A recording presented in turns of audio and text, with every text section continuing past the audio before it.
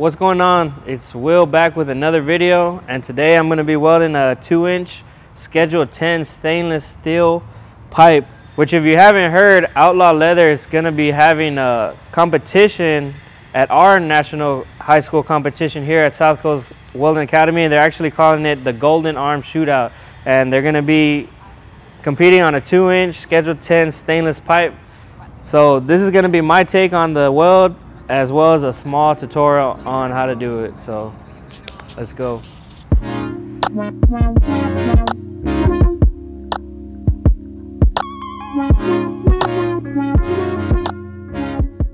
All right guys, so the way that I weld these out is uh, I, I, prefer a 5 30 second gap because uh, we're to be using a 30 second rod, which is a 308 stainless wire.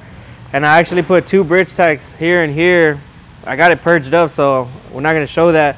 But what I'm gonna do is I'm gonna put a penetrating tack on the bottom, close it, repurge it, and then a penetrating tack on top. That way my gap doesn't uh, close or fluctuate as I'm welding it. So let me go ahead and do that.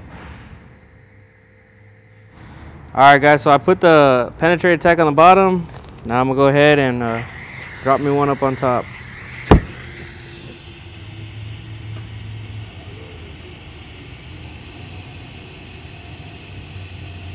I'm not trying to make it too big, just enough to hold it together. That's all I need. Alright guys, so I feathered my tack, but whenever I'm welding alloys or something, what I do is I light up on the tack first, watch it burn out, watch it make a keyhole, and then what I'm gonna do is I'm gonna dip, keyhole dip. But if you look, I'm gonna backfeed it from the top, just like this. I'm sticking it in through the uh, through the tape, and if you look over here, you can see that the wire is gonna come out on this side. I'm gonna dip, keyhole, dip, keyhole, dip, keyhole. Just up and down dip, up and down dip, up and down dip. That's how I'm gonna do it. So here we go.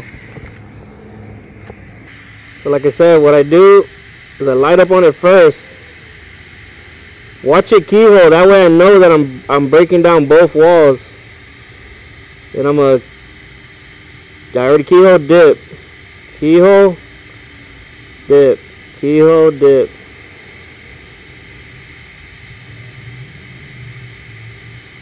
Like I said, I'm going to do this the whole way.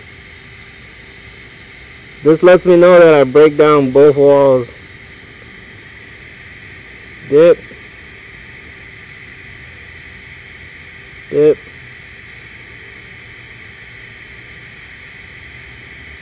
Dip. I'm gonna weld this up to my um, bridge tack.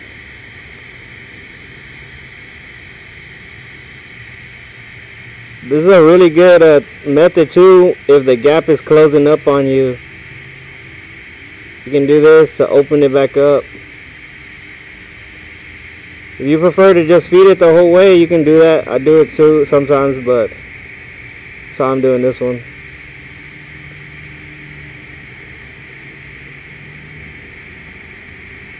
Stop right here.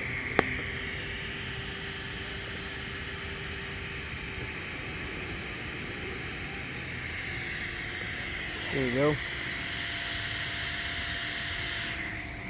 Alright guys, so I just did that right side or the hard side. Now I'm gonna switch over and do the same thing but just with my left hand. There we go. Pop pop the wire through the top. So like I said guys, I don't just put the rod there. I, I'm going to watch it keyhole and then I put my rod in. So here we go. Watch it keyhole. It's going to keyhole just like that. Burn those edges. Pop that wire in. Dip it. Dip it keyhole.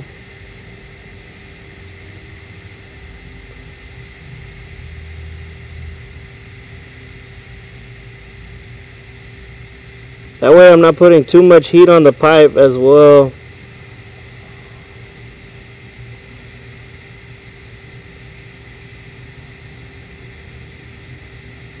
When uh, you're welding 6G, I really uh, recommend learning to use your left hand, especially when you get out there in the field. It's a lifesaver. Sometimes you get in some spots that you just cannot get into. If you look here, the gap is getting a little bit tighter. Like I said, all I gotta do is dip and keyhole and that gap will open up just how I want it to.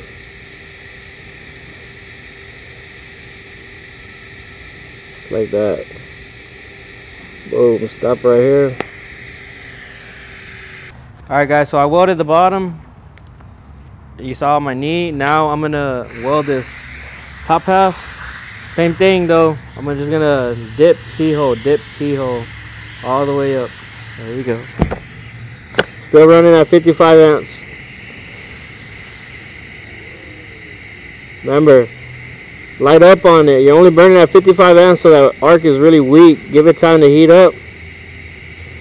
And finish it off. Dip.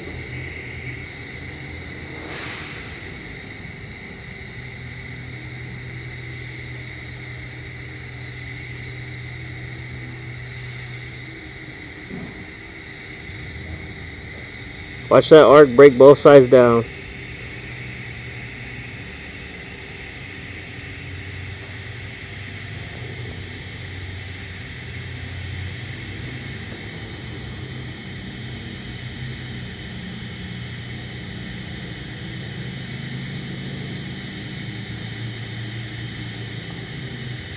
Remember, if that gap closes up, this dip keyhole will open it right for you. So, what it's doing for me right here.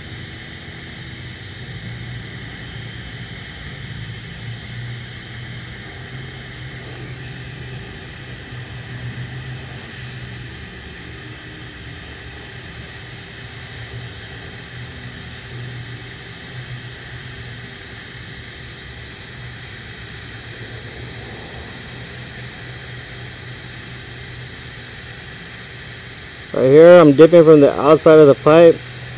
The gravity will pull it down for me.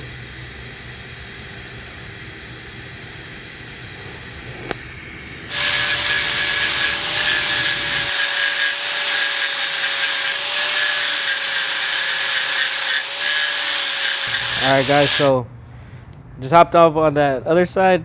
I'm gonna finish this side off with my right hand because that's how I feel most comfortable. So here we go.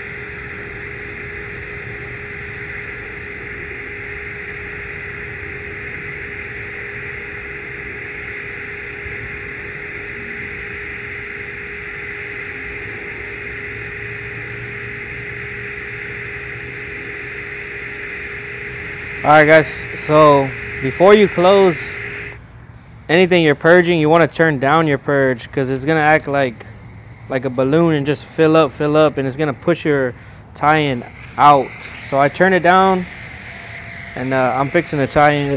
Close this root up so here we go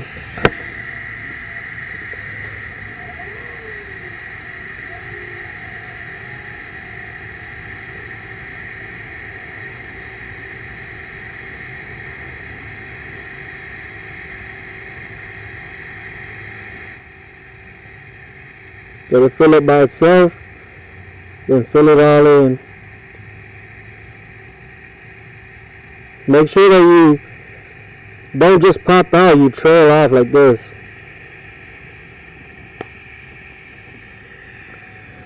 We're gonna avoid a fisheye. Alright guys, so I did the root. Now I'm gonna go ahead and hot pass it. And uh, I'm just gonna freehand the bottom here because I feel a little bit more comfortable than that. I'll snap off and then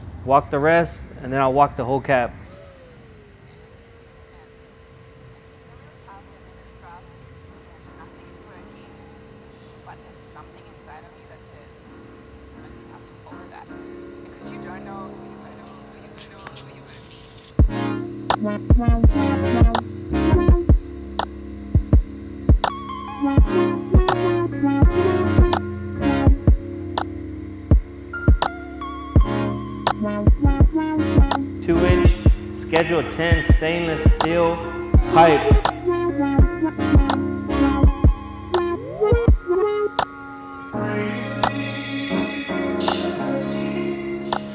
Hot pass it.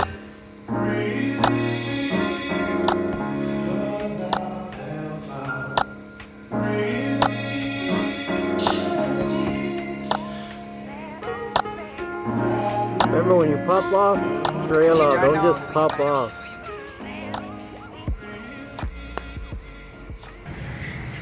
Alright guys, so I said I was going to walk it, but I think it'll be a little bit faster if I just uh, go ahead and freehand it. So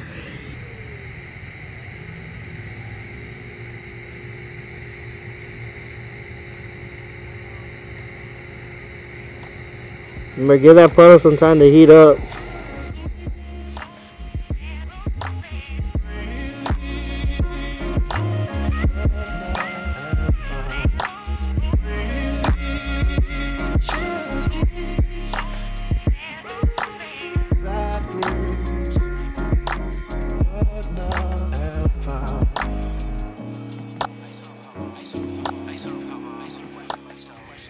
Make sure that you don't just pop out, you trail off like this.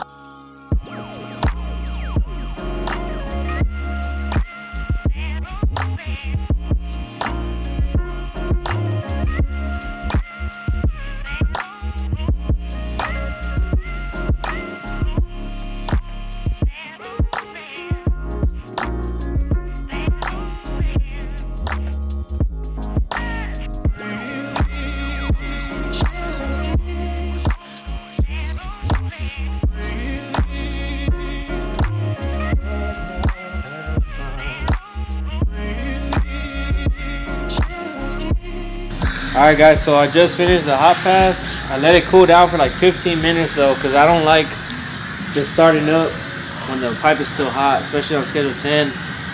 So now I'm gonna just walk the cap, one beat it, and we'll finish this up. So here we go.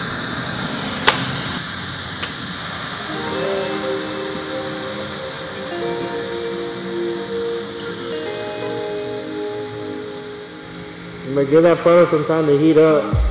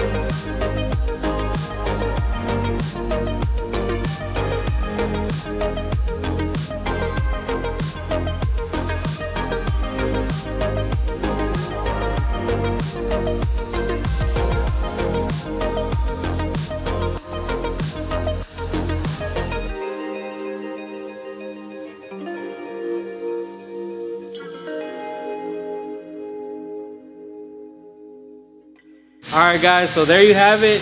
This is my take on the two inch Schedule 10 stainless steel in the 6G position, which like I said, is gonna be the challenge that Outlaw is giving at their Golden Arm shootout here at the high school competition at South Coast Weld Academy on June 13th.